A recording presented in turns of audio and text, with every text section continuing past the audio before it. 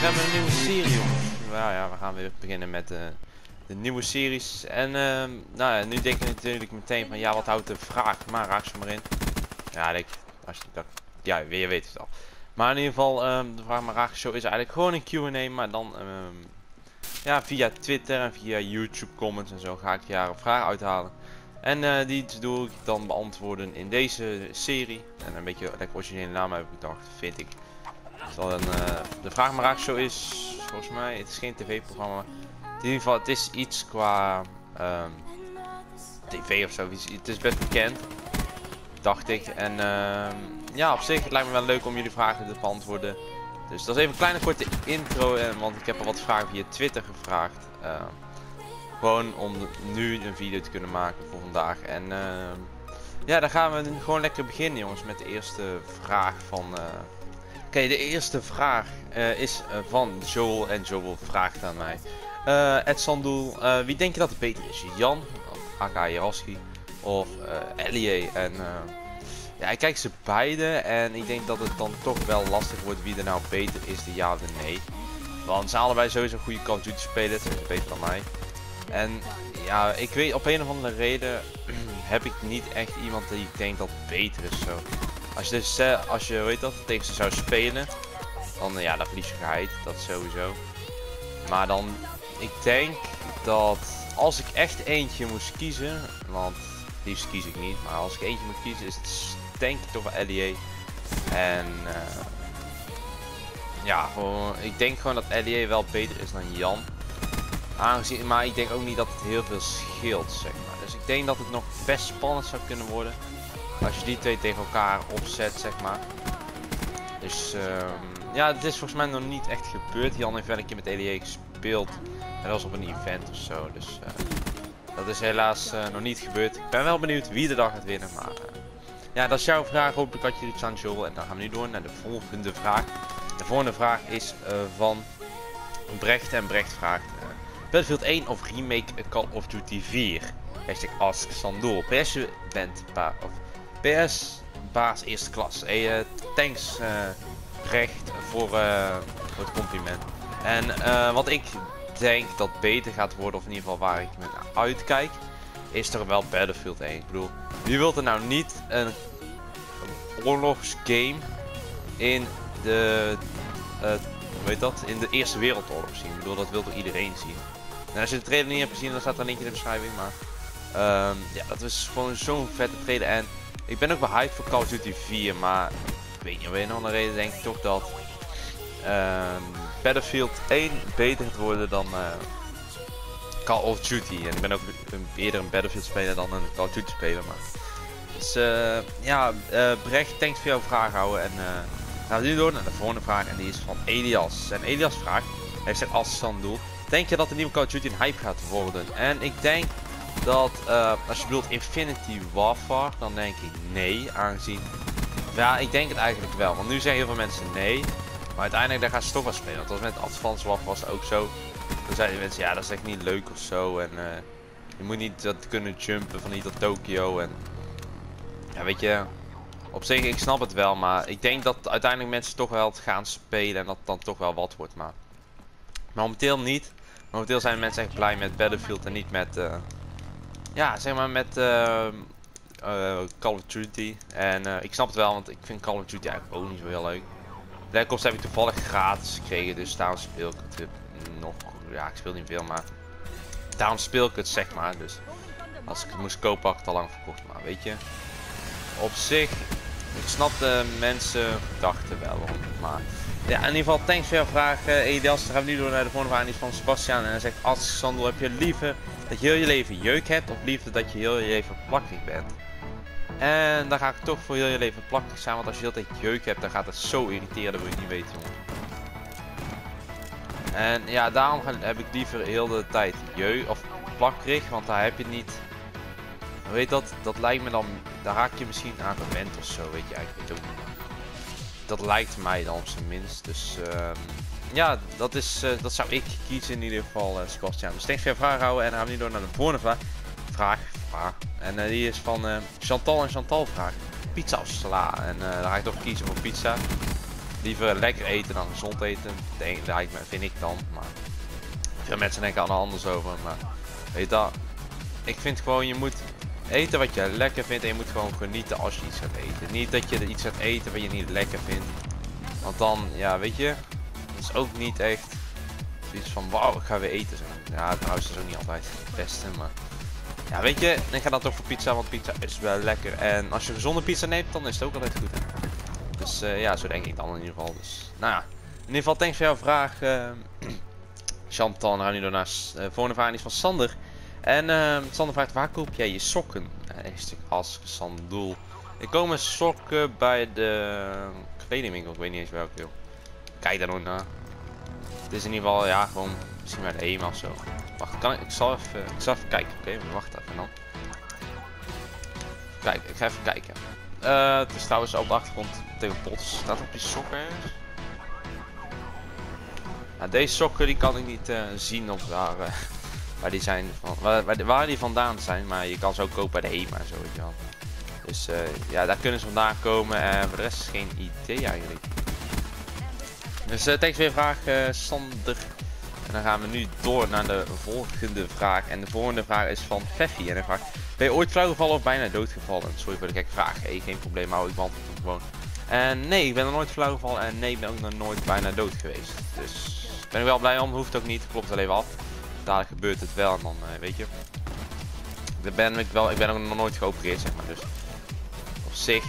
Ik weet ook niet hoe dat is, zeg maar, om echt geopereerd te worden of zo. Ja, ik hoef het ook niet te weten, zeg maar. Maar, maar ja, ik weet dat deel van niet. Maar weet je, je moet gewoon zo gezond mogelijk proberen te blijven. En uh, je kan er niet altijd iets aan doen natuurlijk als je ziek wordt. En het is al erg genoeg als je ziek wordt. Dus uh, ja, weet je, ik vind dat je, eigenlijk, ja, dat het bestaat überhaupt dat je zo, soms ernstig ziek kan worden. Dat is best wel erg, vind ik.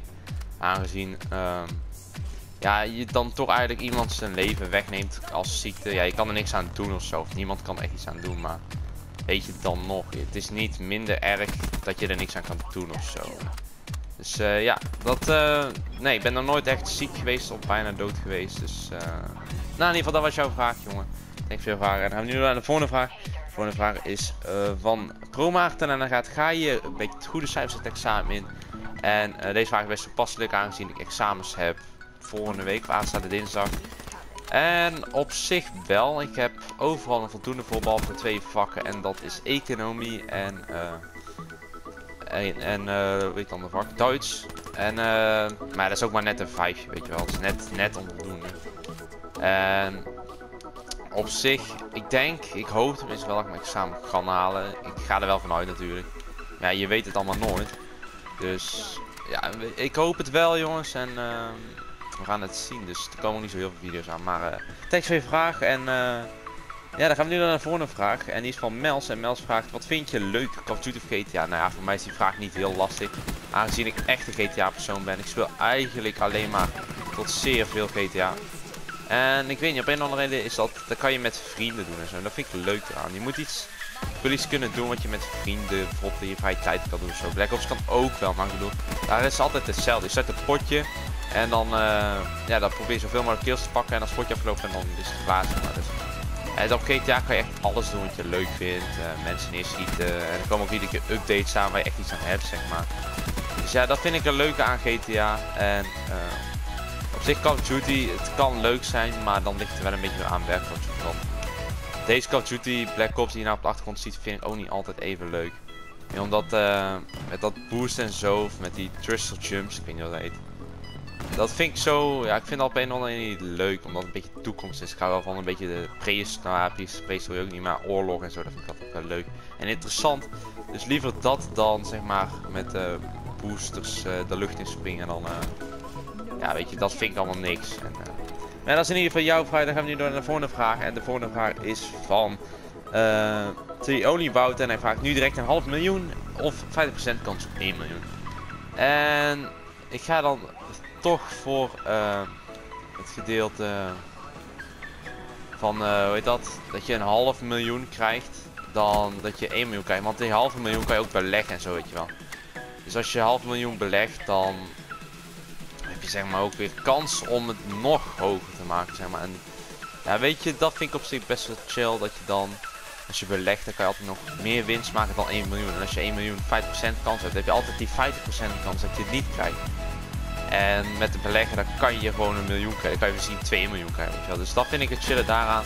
Ik zou liever dat hebben dan... Uh, ja, dan eigenlijk... Uh, ja, een half miljoen en dan... Uh, of een miljoen en dan weet dat de helft niet krijgen. En dan gaan we nu naar de volgende vraag. Die is van Feffie. En Feffie vraagt: Wat is de gekste manier je, waarmee je de juf of meest ooit hebt uitgescholden? En voor mij is die vraag heel makkelijk, want ik heb eigenlijk nog nooit een juf of meest uitgescholden. Omdat ik gewoon simpelweg nooit echt problemen heb gehad met docenten. Ben altijd wel degene die ja, een beetje normaal blijft doen en niet zo echt ruzie heeft, zeg maar. Ik ben echt zo'n, ja, weet je. Ik kan altijd wel gewoon goed vinden met elke leraar, bijna elke leraar gezegd alvast. Niet iedere leraar. Ik heb ook leraar gehad die ik niet mocht. Maar ja, dat, wie heeft dat niet gezegd? Iedereen heeft dat wel. Dus ja, weet je. Op zich, ik snap, uh, sommigen doen, uh, schelden wel leraar uit. Weet je, dat snap ik niet altijd, maar... Maar goed, hé, ik kan er niets aan doen. Ja, dat was jouw vraag. Dus thanks voor jouw vraag, Steffi. En dan gaan, uh, dan gaan we nu door naar de volgende vraag. De volgende vraag is van... Weer en hij vraagt wat is de domste reden waarom je ooit ruzie hebt gehad met je ouders? En er is nooit echt een domme reden geweest waarom ik ooit een ruzie heb gehad met mijn ouders. Ik bedoel, het heeft vaak wel een reden, zeg maar. Dus uh, ja, ik zou zo 1, 2, 3 niet even kunnen zeggen van uh, dat is een domme reden of zo. Dat is geen domme reden. Dat heb ik nou momenteel niet echt. Nee. Dus ik heb niet echt een hele, ooit een domme reden gehad. Dus ja, weet je, het is Soms heb je ruzie met je ouders om een goede reden. Soms heb je ruzie met je ouders om een rare reden. Maar ja, weet je, je moet eigenlijk zo min mogelijk ruzie maken. Bedoel, het gebeurt altijd. Dat is bij mij ook. Maar weet je, zo min mogelijk gewoon proberen en dan gewoon, ja. Respect hebben voor beide. En, uh, ja, meer zou ik eigenlijk ook niet weten. Dan gaan we door naar de volgende vraag. Die is van. Uh, Martin. En hij vraagt, uh, wat zijn je top 5 YouTubers? En mijn top 5 YouTubers, ik zag deze vraag ook heel vaak voorbij van... Ja, mijn favoriete YouTubers die en die en dan 1 tot 5. Ja, mijn favoriete YouTuber op 1 is Jaraski. Sowieso. Uh, Jan kijkt al zo lang dat je gewoon na een tijdje, weet je, kijk je naar het liefst van iedereen die er is, zeg maar. En ik kijk niet graag pranks. Pranks vind ik echt zo ontzettend dom. Tenzij ze echt zijn zijn heel weinig dingen die ik echt leuk vind om naar te kijken als ze echt zijn. En als je echt veel tijd in hebt gestoken, dan vind ik het leuk, maar niet. Op nummer 2 staat, uh, ik denk het wel Vanos Gaming, want ik kijk Vanos Gaming zo ontzettend graag, dat wil je niet weten. En Vanos Gaming is gewoon, hij is zichzelf met een aantal vrienden en hij maakt gewoon funny moments, zeg maar. Dat vind ik het leuke. En uh, dat zouden veel meer mensen eigenlijk niet doen, maar ja, is niet iedereen is zo. En hij, ja weet je, op hem kan je gewoon vertrouwen dat hij leuke video's maakt. Dan vind ik het leuke eraan. En op nummer 3 staat... Um, ik denk dat. Kijk, wie kijk nog meer graag? Uh, Denniske staat sowieso op nummer 3. Want uh, Denniske kijkt ook al sinds het begin van mijn YouTube uh, stuff, zeg maar. Dus die kijk ook heel graag. Op nummer 4 staat Stuk TV. En ja, Stuk TV. Wie vindt Stuk TV nou niet geniaal? Serieus.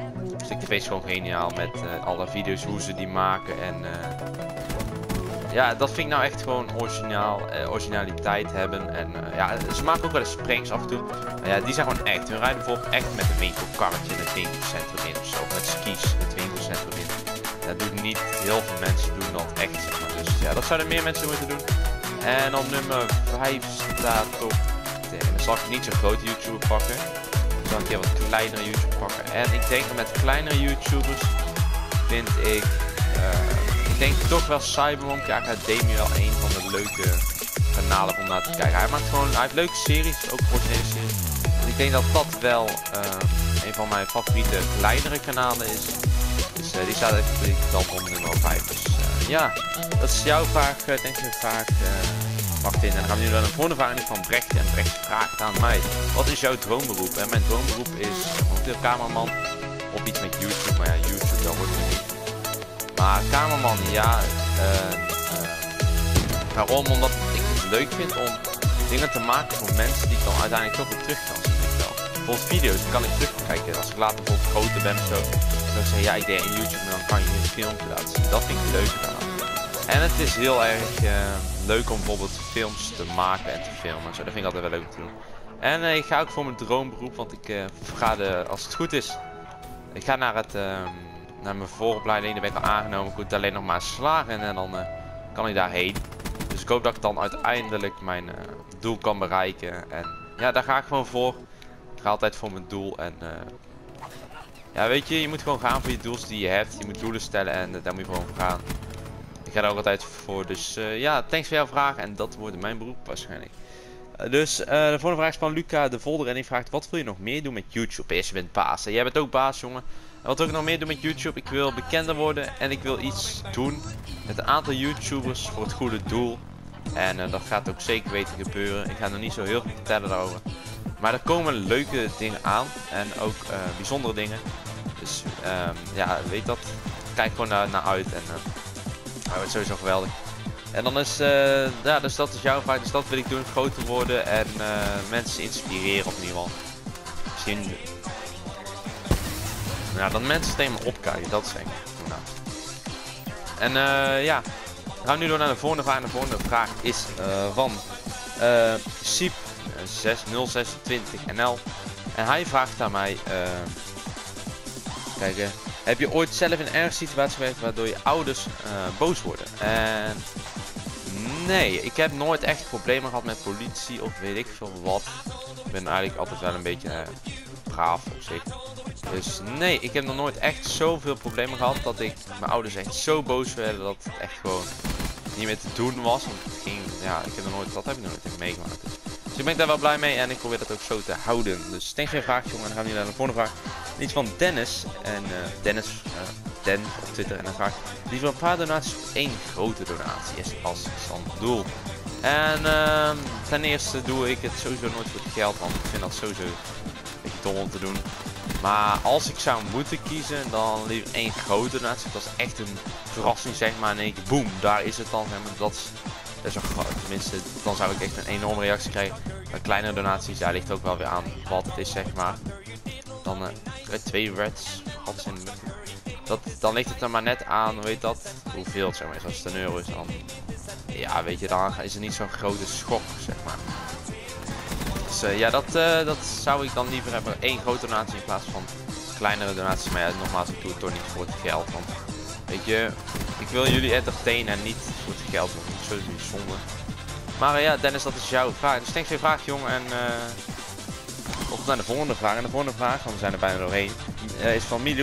En hij zegt een hoe als dochter of een homo als zoon. En uh, dan liever een homo als zoon, want ik heb toch niks tegen homo's. Of, nou, ten eerste dan maar. Ik bedoel, als je daarvoor uitkomt, hey, weet je, respect voor jou ook, want dat is best lastig. Maar nee, ik zou, ik zou het eigenlijk beide niet erg vinden.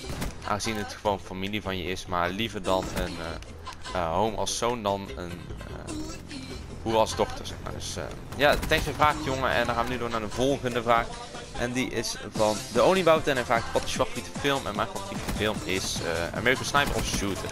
Als het iets met uh, oorlog heeft, dan vind ik dat altijd wel goed. Of Save Private Ryan is ook leuk. Uh, dan gaan we door naar de volgende vraag. En die is van, oh my god, dit is Remco. En oh my god, is Remco vraagt, welke Call wil je liever remastered zien? Je bent baas. En thanks jongen, je bent ook baas. En de liefste Call die ik remastered wil zien, is denk ik toch wel uh, MW2.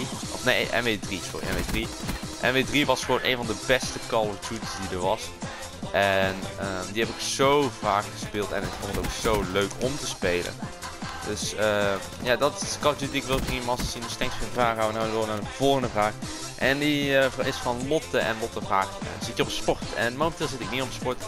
Ik heb acht, of acht jaar heb tennis gedaan ben mee gestopt uh, omdat ik naar de middelbare ging en ik had geen zin meer om te gaan sporten. Want dat kost heel veel tijd en ik had geen zin om iedere zaterdag zeg maar heel vroeg mijn bed uit te komen of, of iets te gaan doen op een zaterdag. Want ik wou zaterdag maar even niks doen. En uh, daar heb ik voor gekozen en daar ben ik nou ook gewoon trots op dat ik dat heb gedaan. Want ja, je moet wel sporten als je het leuk vindt. En ja, de enige sport die ik echt leuk vind is Amerikaans showworsten. Maar dat ga ik niet doen, zeg maar. Dus dat wordt niet mijn beroep. Maar ja, het zou wel leuk zijn, maar nee, dat wordt het niet. Met tegen vraag Lotte en dan gaan we nu naar de volgende vraag. Die is van Zombiesniper, oftewel Robin. En hij vraagt, wat doe je meestal als je vrij hebt uh, qua opnames? En als ik vrij heb, dan ga ik of eventjes Playstation of heel veel tweets beantwoorden op Twitter. Maar als ik aan het opnemen ben, dat is meestal op een woensdag of donderdag. Dan uh, weet je, dan ga ik gewoon met een aantal mensen of alleen een video opnemen. En dat kan verschillen. Ik kan het ter plekke bedenken. Ik kan het uh, gepland hebben. Ik kan het bedacht hebben al drie maanden van tevoren. Maar vaak bedenk ik het of ter plekke.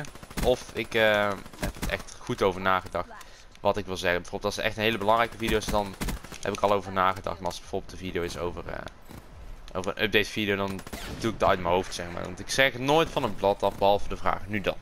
Dus uh, dat doe ik in mijn vrije tijd qua opnames. En de laatste vraag is van Jente Bakker. En hij zegt, welke opleiding doe je? Ik doe momenteel geen opleiding, maar ik ga de opleiding AV specialist doen. En dat is voor cameraman. Dus ja, thanks voor jullie vragen allemaal. Slaat je vragen hieronder in de reacties achter. Dit is een lekkere XXL Q&A. Omdat het lekker wat langer duurde natuurlijk.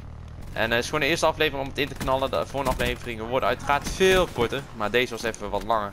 Omdat het net nieuw was. En ja, weet je wil ik toch wel heel eventjes uh, iets langer hebben. Dus uh, hopelijk vond het een leuke serie. Laat me even weten. En je kan me vragen beantwoorden of vragen sturen via Twitter. En via uh, YouTube gewoon comments. En dan zeg ik bedankt voor het kijken jongens. En tot bij de, volgende Vraag maar Raak Show of andere video hier op Sandoel. Dus bye bye mensen. Bye bye.